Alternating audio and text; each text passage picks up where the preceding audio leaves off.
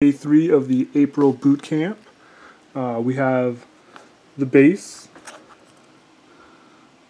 pretty much done. Might put some grass on it, but other than that, it's pretty much done. We have the Shrike primed.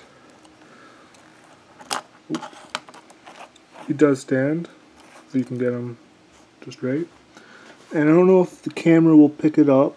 You can kind of see it on the wing. Uh, the green has been base coated on them. Just the body.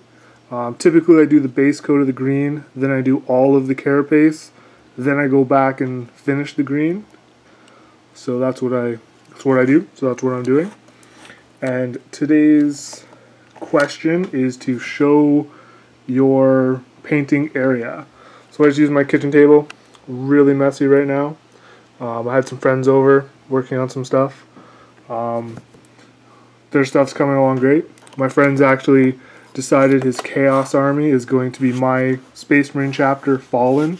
So that's really cool. These are the brushes I'll be using mostly. Zoom in. We have a dry brush brush, a medium detail brush, or just a regular standard brush, and a detailed brush. Um, I occasionally use garbage brushes as well.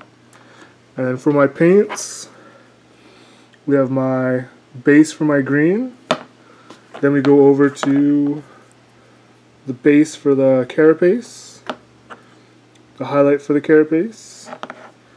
We have our silver gray, which is actually I use as my white, just for extra details.